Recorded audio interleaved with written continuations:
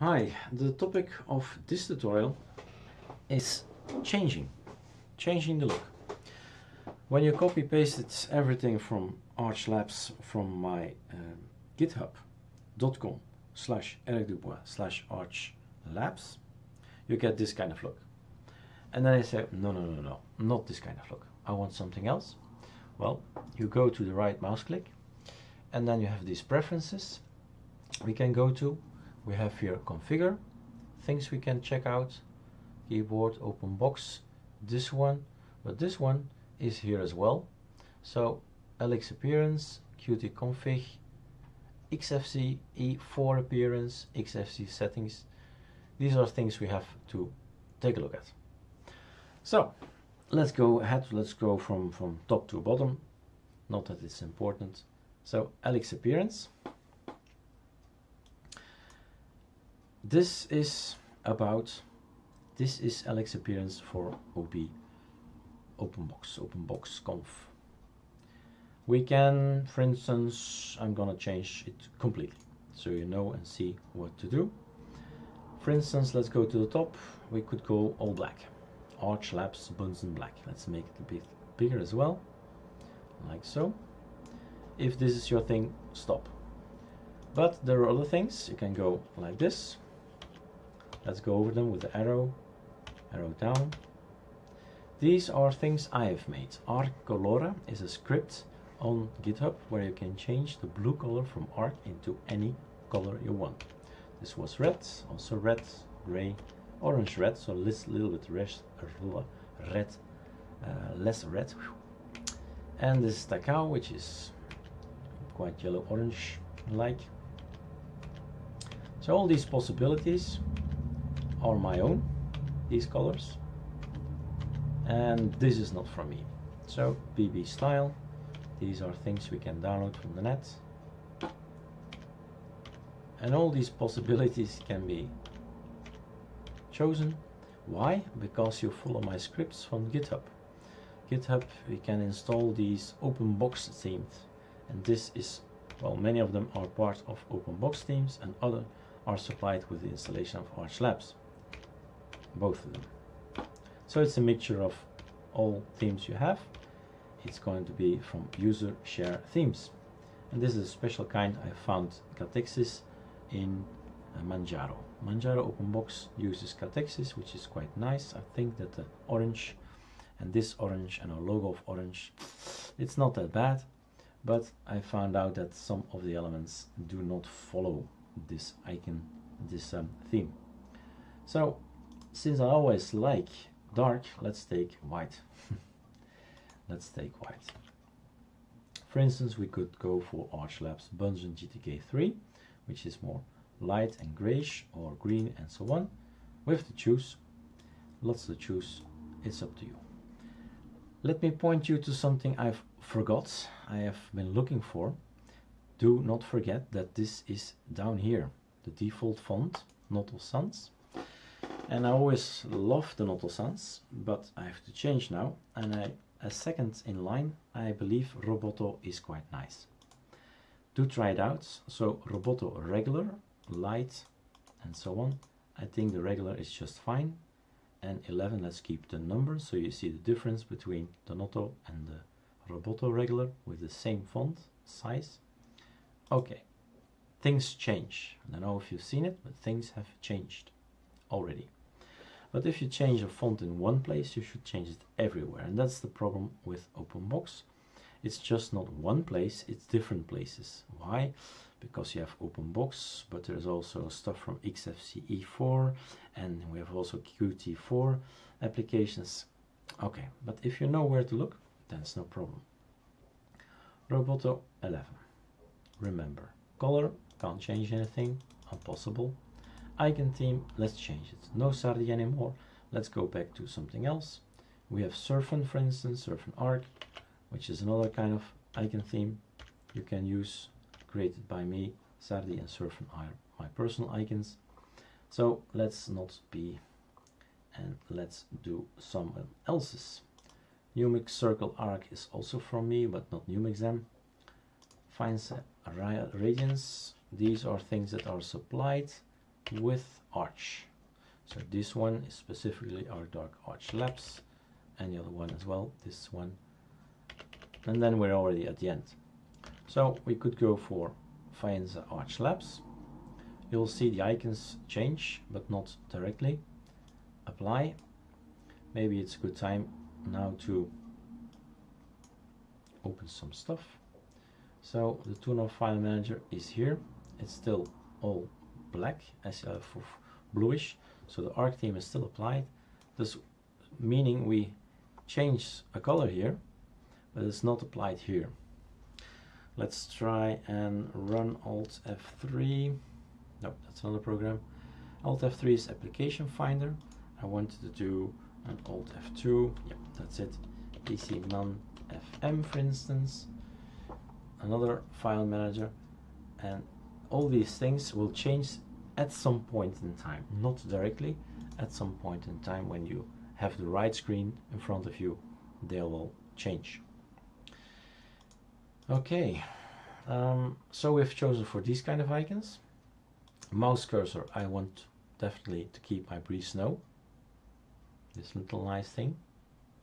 The window border, quite I, not difficult, but you should know it.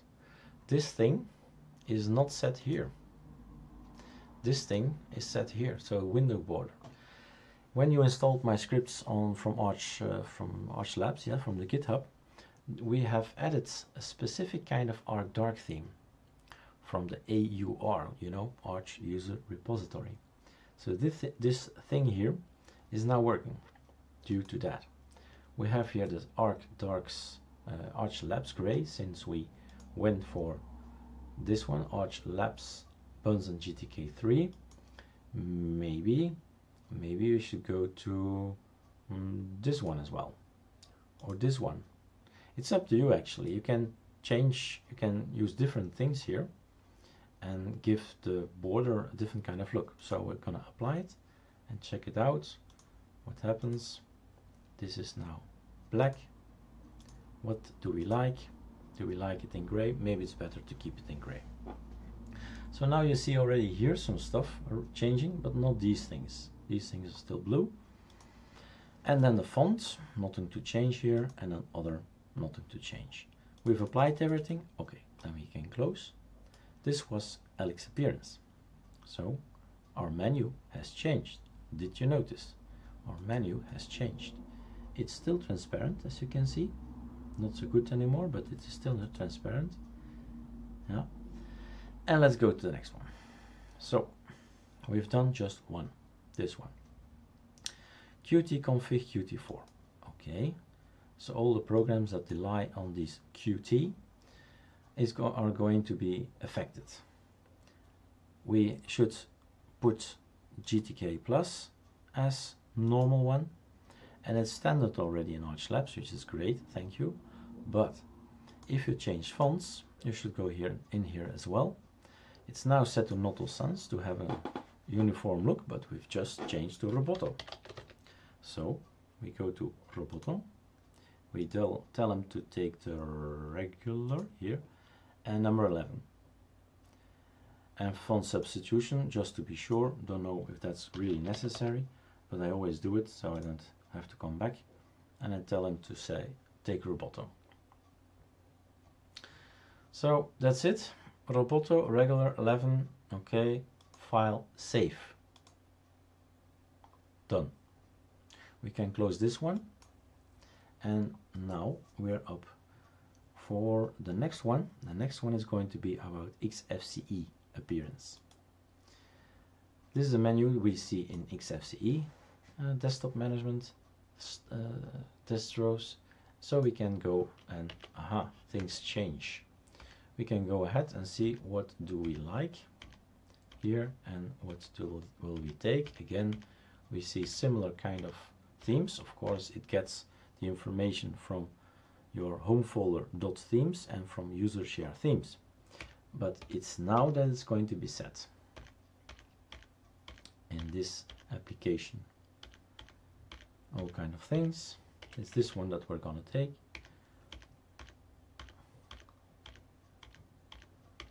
So I always also want to show you that there is a lot of possibilities in fine-tuning your system. So we're going over all of these and they are coming from the open box themes among other things. They come from my Arc theme. They come from arch labs. So all the things go together in just one window and you can select whatever you want. I think we were going for arch labs Bunsen GTK3 so this is going to be white again. This I think is the only thing we have to do here. I think is reload but I'm not sure. So I'm gonna kill it.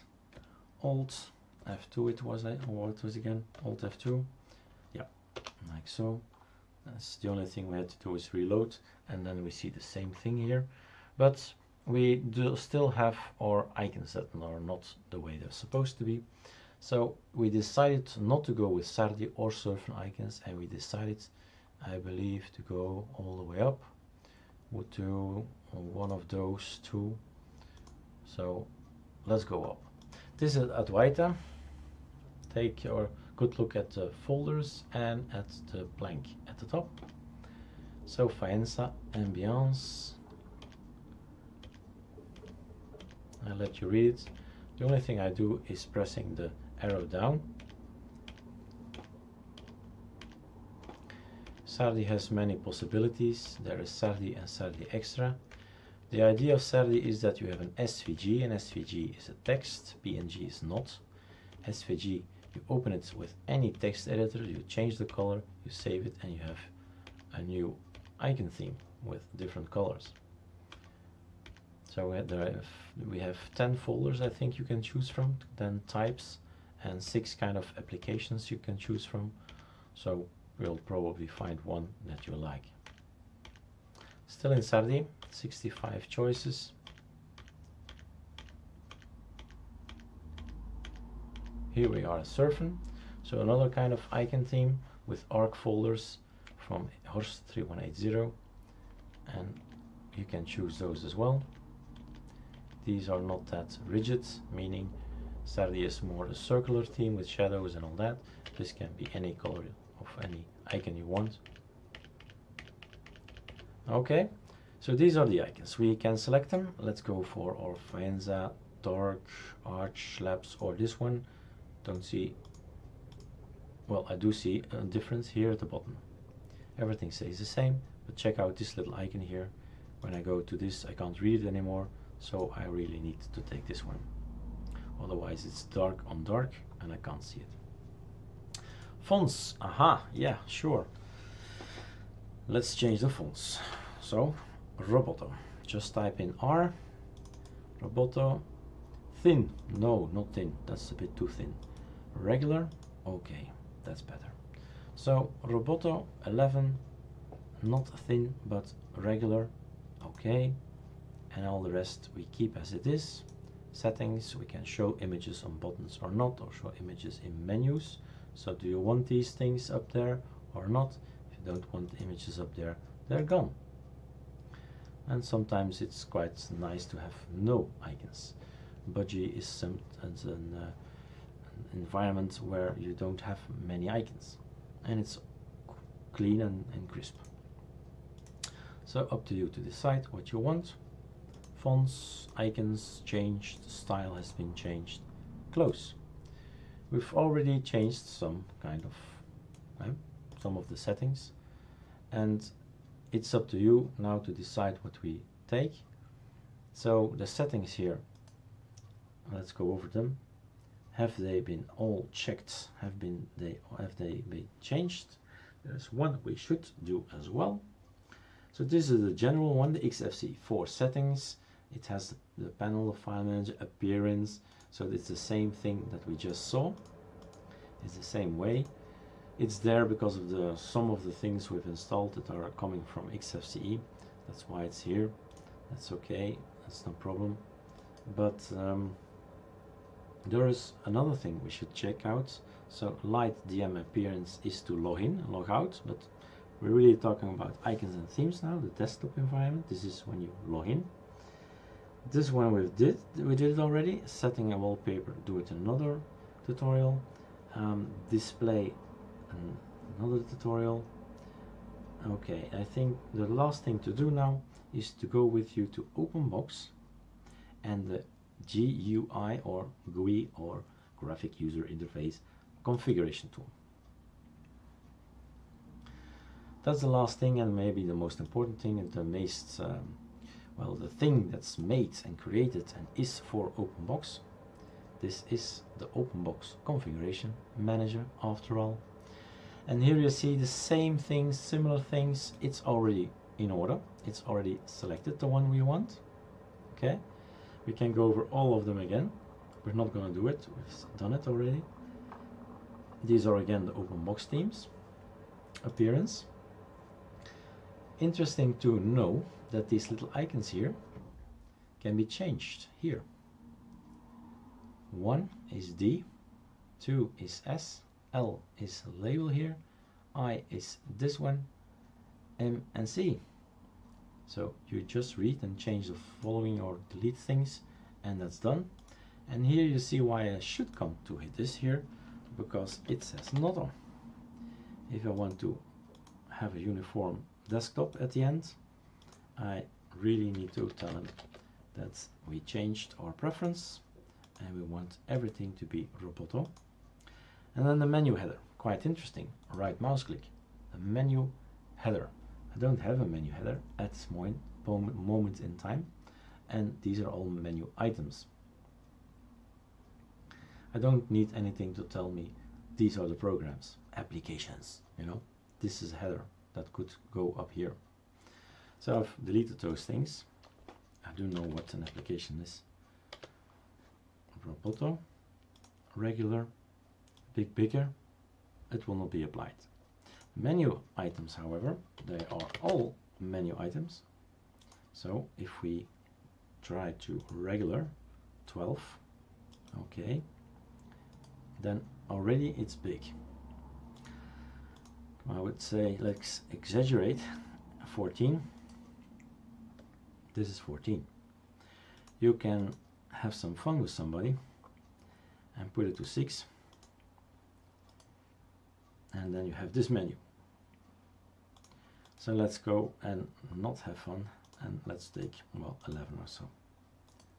This is our menu at the, this point in time. So Roboto number 11 and then some stuff to tell you we've changed our name uh, the, the music has changed and stuff like that.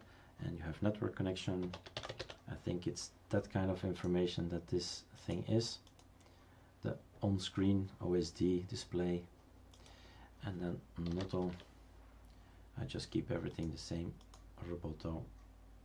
Regular. Okay. Voila. Everything is not okay. Roboto regular 11 all robotos done. Windows. Do check them out. Has nothing to do with appearance um, but it's interesting. Focusing the mouse and all that. Double clicking on the, the title bar maximizes the window. Nice. If you want to change the name here maybe it's a good thing to tell you that as well. So it used to be I think desktop 1 enter and double click desktop 2 it took in it took away a lot of my space here so I thought I'll just rename it differently and now it's it's like this. As you can see I've made it also smaller so now they're over each other so I have to tell tint2 that I've changed the name and it can be it must be longer now. But okay that's it and for the rest we don't need to tell anything here so now we have a complete new system, new look. We have uh, a brighter file manager, brighter uh, elements here. And terminals and all these programs are still the same. I didn't change a thing there. They, these configurations come from somewhere else. But file managers and uh, the theme, the menu has changed, the, th the fonts have changed and all these things. Well, I think you're now equipped to change everything you like uh, about uh, this Arch Labs uh, system you have now.